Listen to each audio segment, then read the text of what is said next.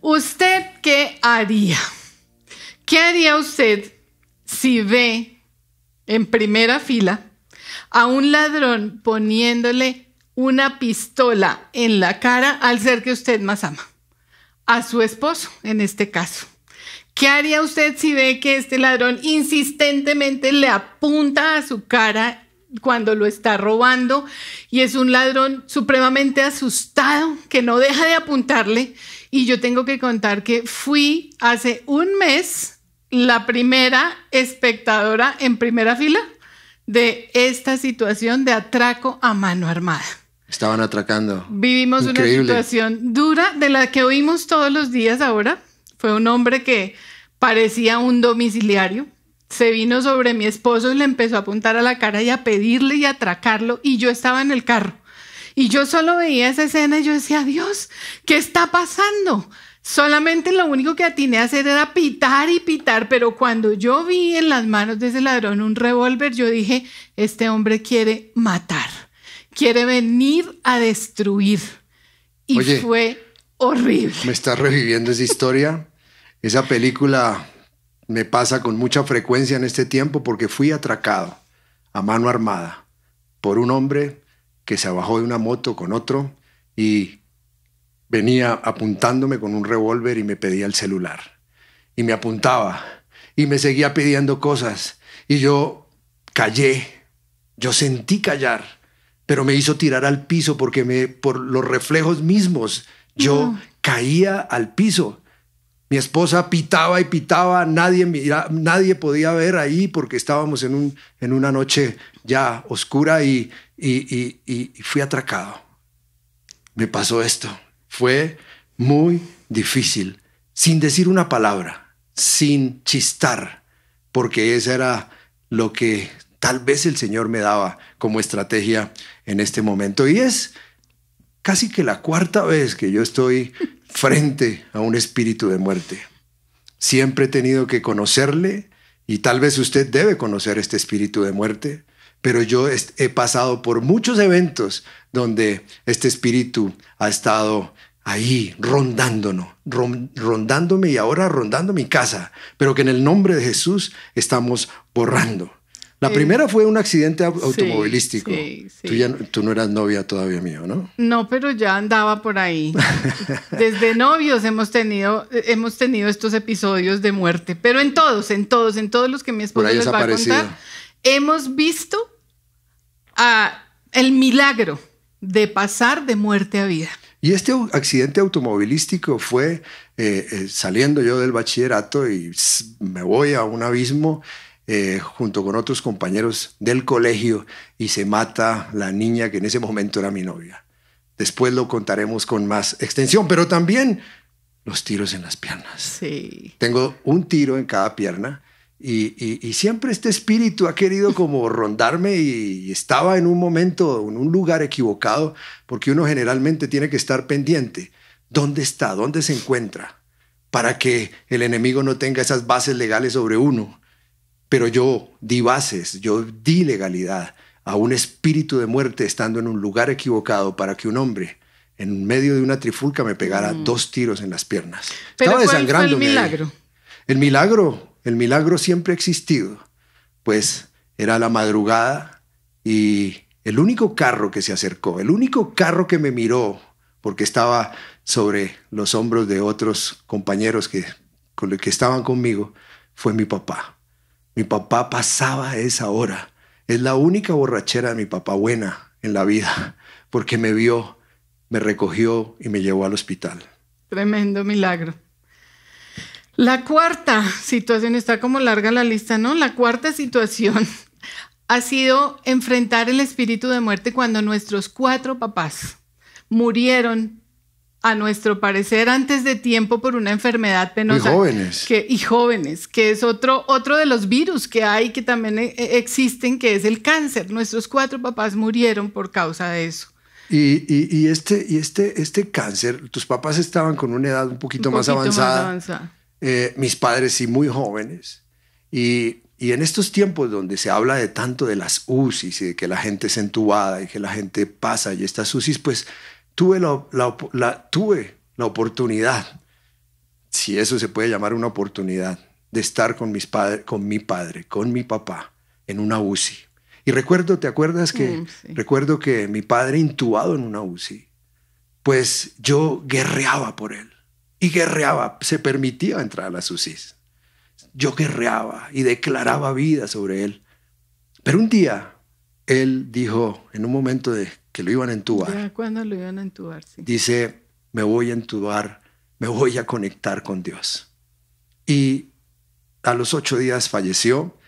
Ese fue otro momento donde hubo espíritu de muerte, pero también el gran milagro de vida, porque hoy estamos seguros, hoy estoy seguro que mi papá goza de la salvación del Señor. Así Igual que es. tus papás. Así es, es Igual que tus papás. certeza. Entonces, entonces es un, es un Ese es un compendio. Ese es otro milagro, porque el milagro, el milagro de pasar de muerte a vida solamente nos lo entrega Jesús. Siempre el Señor nos ha permitido como iglesia, como, como parejas, como familia, perdón, conocer ese espíritu de muerte. Y yo creo que el hombre, la mujer de Dios, la familia de Dios debe conocerlo. Cierto. Estos episodios que forman parte de nuestras vidas, que han sido guerras que usted y nosotros y todos peleamos, pues nos hacen ver que hay protagonistas Sí. en las guerras. Oye, usted tiene que conocer eso. Ustedes tienen, tienen, el pueblo de Dios tiene que conocer que las guerras tienen actores y protagonistas. Nosotros lo hemos conocido. Pues se las vamos a enumerar. Los protagonistas son el hecho, el hecho en sí. En mi caso, en este atraco que vino, vino este tipo por un celular y me apuntaba como si yo llevara 50 millones de pesos. Y el tipo me pedía el celular y me amenazaba y me amenazaba. Y, yo en ese minuto, porque tuvo que durar un minuto, ese, ese minuto yo pensaba, este hombre me va a matar. Si esto es lo que yo veo en los noticieros y me está pasando a mí, me está pasando a mí. El tipo me amenazó tanto que me hizo botar al piso, me humilló. Ese espíritu de muerte quiere humillar, pero él también, otro protagonista total es Dios. Dios siempre estuvo ahí y yo lo sé. Y otro, otro, otro protagonista que usted debe conocer son los ángeles. Los ángeles también, pero el diablo también entra en, este, en esta escena. Pero y al final, siempre en las guerras habrá un resultado Resultados. de victoria o de derrota. Por eso usted debe enfrentar, enfrentar las guerras como Dios nos dice en primera de Pedro 5, del 8 al 9. Estén alertas. Cuídense de su gran enemigo, el diablo, porque anda al acecho como un león rugiente buscando a quien devorar. Manténganse firmes contra él y sean fuertes en su fe. Ojo con eso. Recuerden que su familia de creyentes en todo el mundo también están pasando por el mismo sufrimiento. Y ese día después del susto, subimos, porque era llegando a la casa de mi hija, subimos a su casa, lloramos, eh, nos preguntamos, porque vienen también los pensamientos Íbamos a humanos comer y la pizza, ¿no? razón, íbamos a comer pizza, alabamos a Dios, terminamos llorando, obviamente valorando la vida de mi esposo, pero pedimos nuestra pizza, alabamos y dimos gracias a Dios.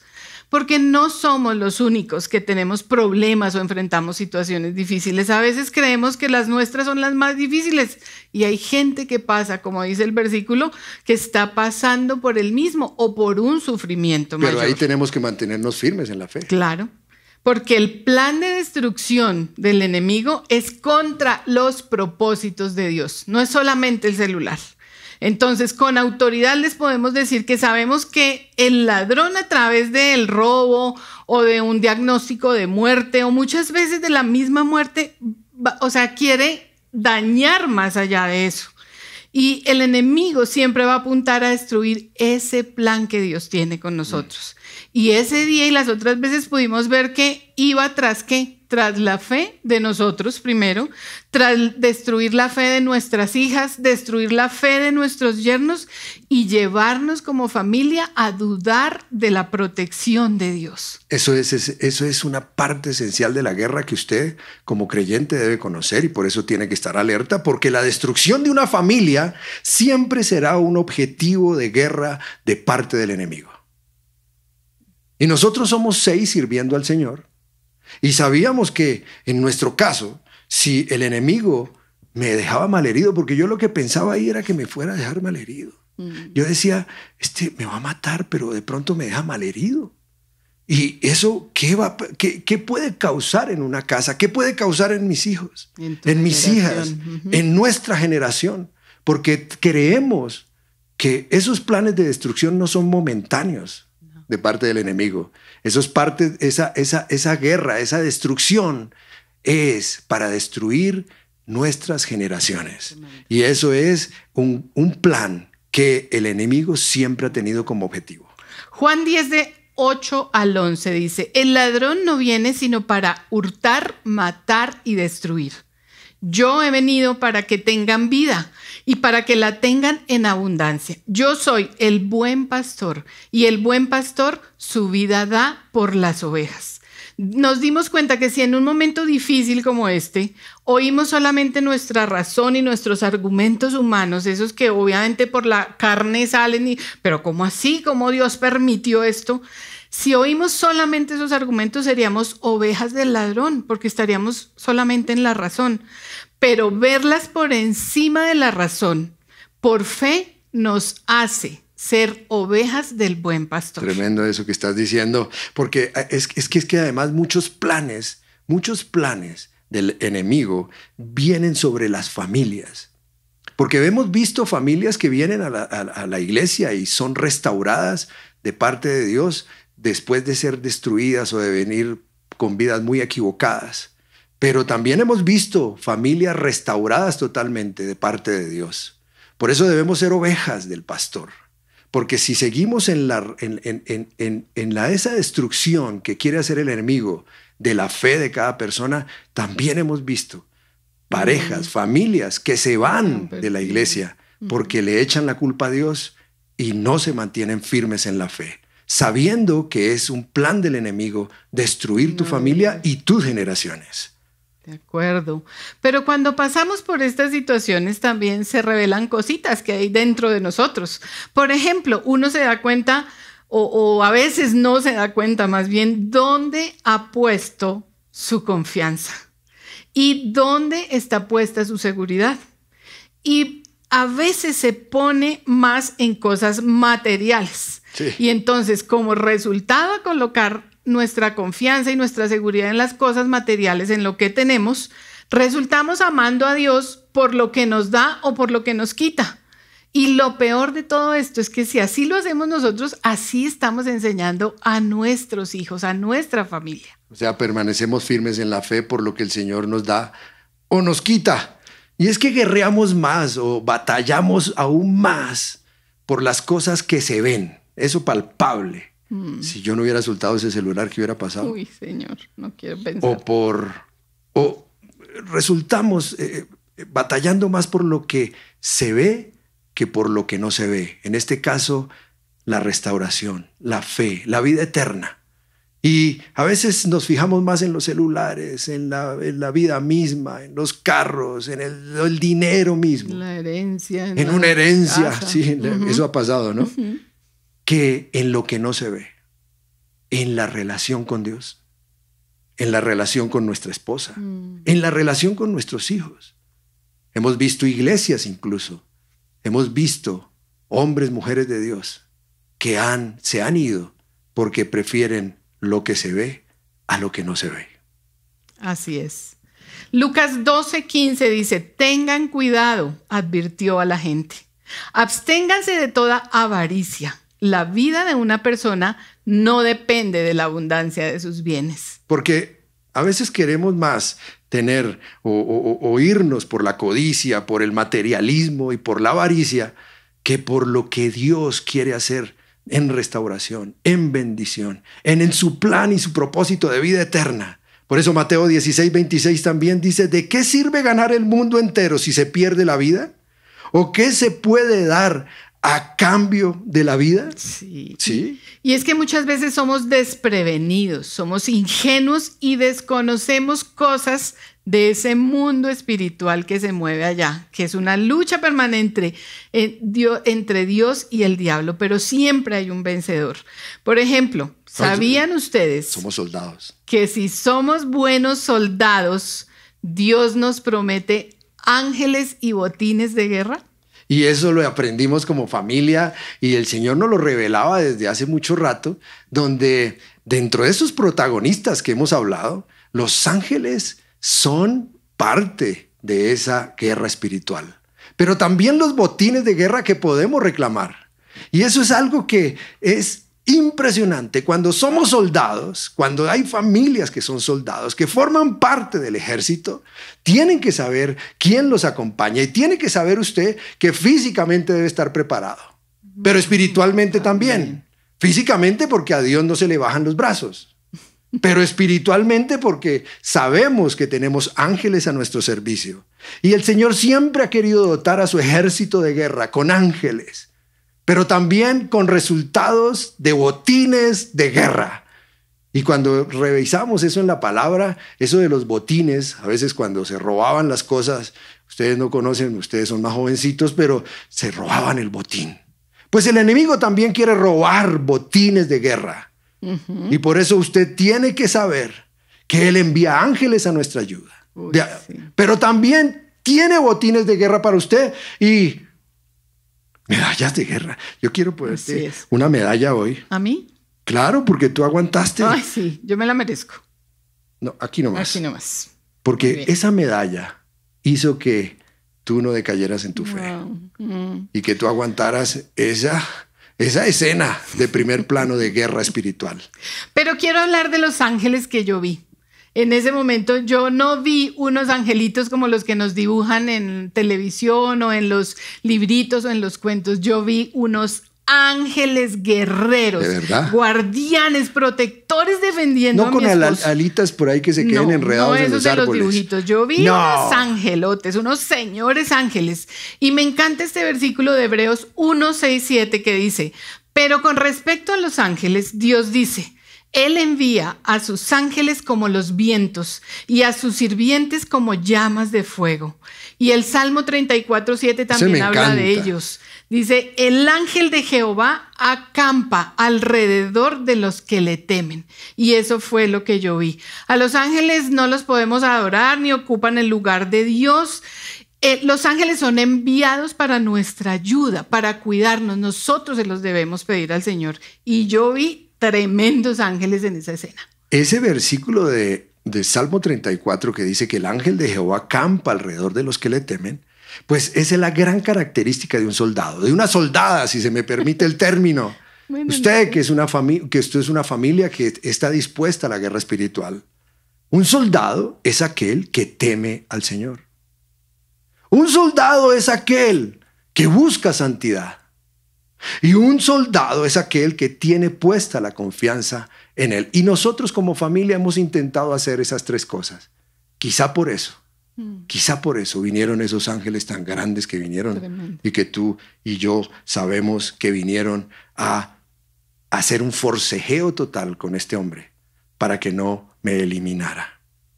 Pero también los botines de guerra son espectaculares dentro de la guerra porque ese, eso es cuando tenemos la gran capacidad de tomar, de arrebatar, de despojar al enemigo de lo que él quiere robarse.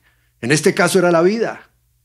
Pero esos botines de guerra que están nombrados en todas las guerras que ustedes ven en la palabra de Dios, en el Antiguo Testamento, hemos visto cómo los botines de guerra siempre formaron parte de la guerra espiritual y nosotros como familia siempre hemos pedido a nuestro Dios botines, de guerra. Yo quisiera usted que allá, allá en su casa, usted dijera, Señor Jesús, Señor, oh Dios, danos los botines de guerra. ¿Cuándo vienen esos botines de guerra? ¿Cuándo vienen? Importante. Pues, pues cuando hemos guerreado, cuando hemos hecho las cosas como Dios dice, cuando hemos Cuando hemos obedecido cuando hemos servido como Dios quiere que sirva, cuando hemos guerreado las batallas que Dios quiere que batallemos, porque no todas las batallas el Señor nos las manda a guerrear.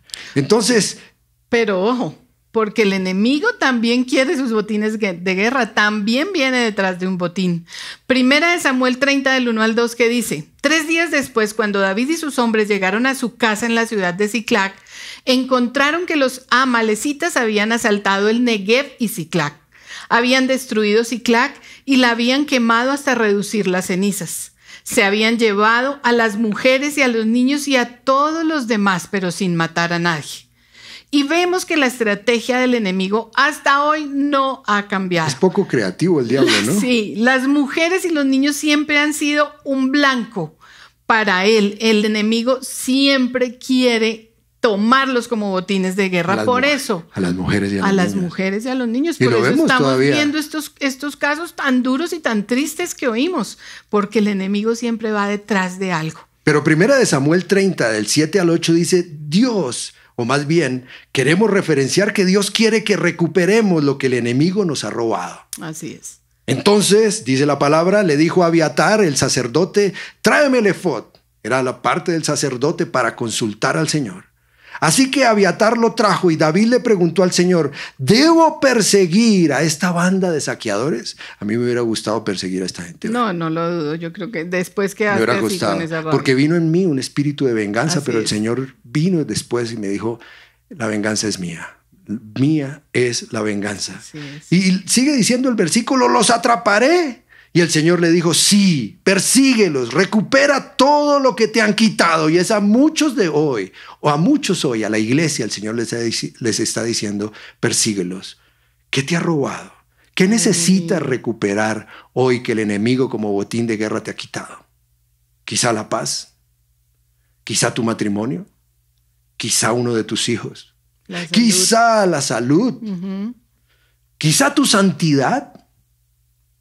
El Señor hoy te dice, ve, recupéralos, recupéralos, porque hay un botín que hay que, hay, que arrebatar. Ve por el botín que te pertenece.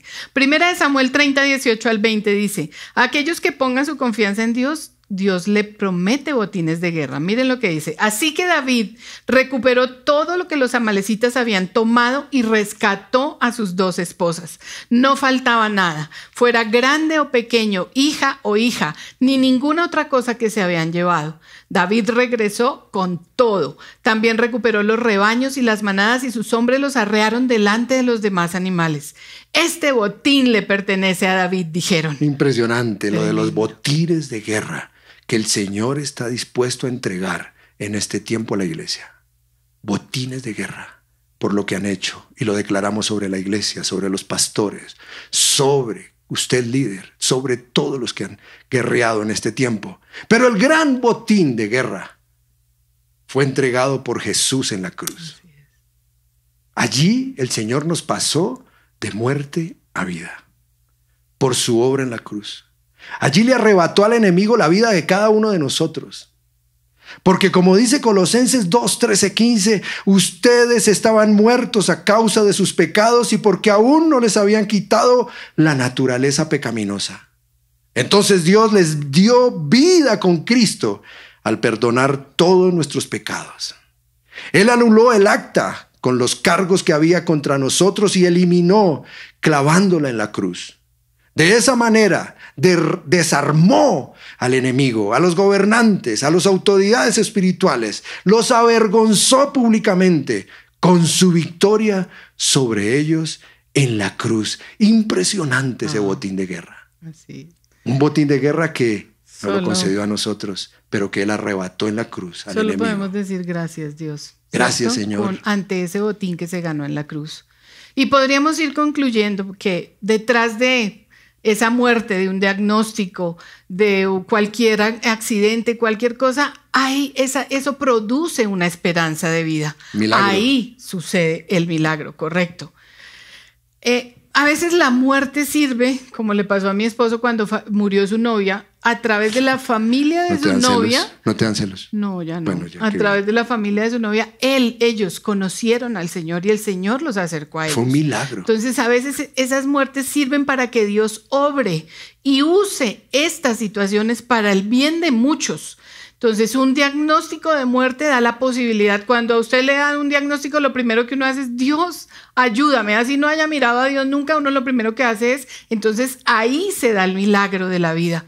Por eso es importante que nosotros tenga, eh, perdón, tengamos, no, contemos, sí, tenemos que contar los milagros, los testimonios, porque así impedimos el plan de destrucción de la fe de muchos y así hacemos famoso el nombre de Jesús. Entonces, hoy queremos contarles otro testimonio, ya no el de muerte, este es de vida, o sea, hoy contamos los cuatro nuestros. Ese testimonio que vas a contar. pero este testimonio es hermoso para Te ha marcado, te ha marcado y, y nos ha marcado como familia, como esposos, porque estábamos los dos, pero usó a mi esposa.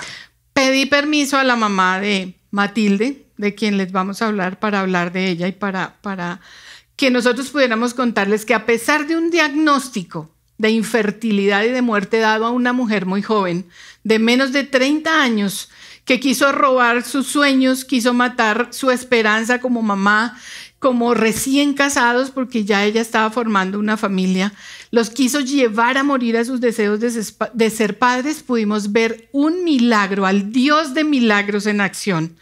Esta mujer no la encontramos en nuestro viaje a Israel y eh, no la conocíamos. Y ella un día nos contó su historia y nos dijo, pastores, a mí me, determinaron una enfermedad que se llama ovario precoz, una falla ovárica que no, no puedo menstruar, llevo muchos años sin menstruar y mis ovarios, como me dicen los médicos, son dos uvas pasas. Pero yo he soñado toda mi vida con ser mamá.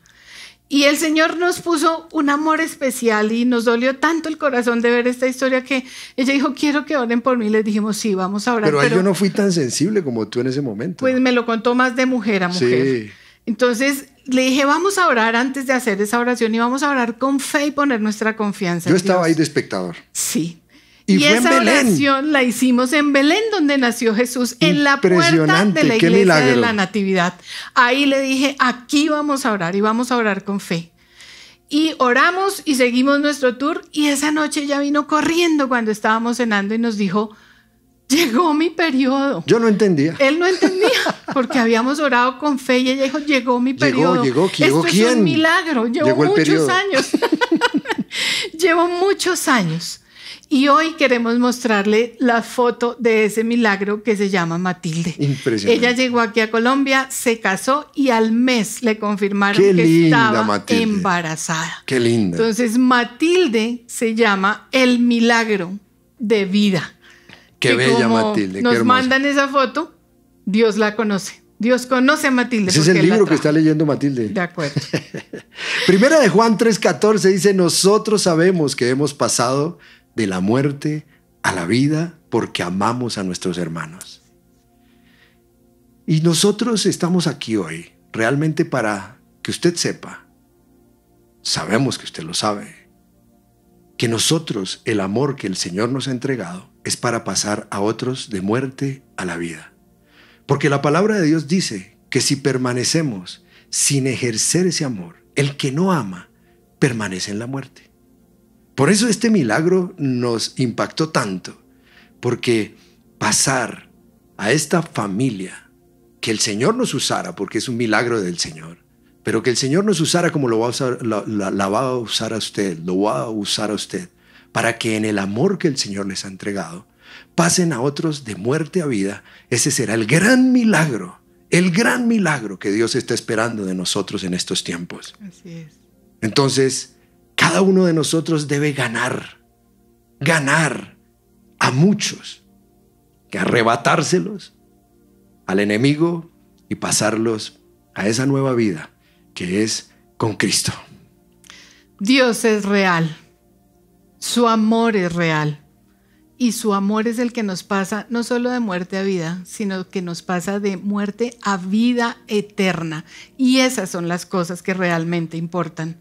Efesios 2 del 4 al 5 dice, pero Dios es tan rico en misericordia y nos amó tanto que a pesar de que estábamos muertos por causa de nuestros pecados, nos dio vida cuando levantó a Cristo de los muertos. Es solo por la gracia de Dios que ustedes, que nosotros hemos sido salvados. Y ante eso solo podemos decir, gracias Dios. Y no solamente esa vida física, sino de esa vida espiritual, porque el Señor está pendiente de nosotros.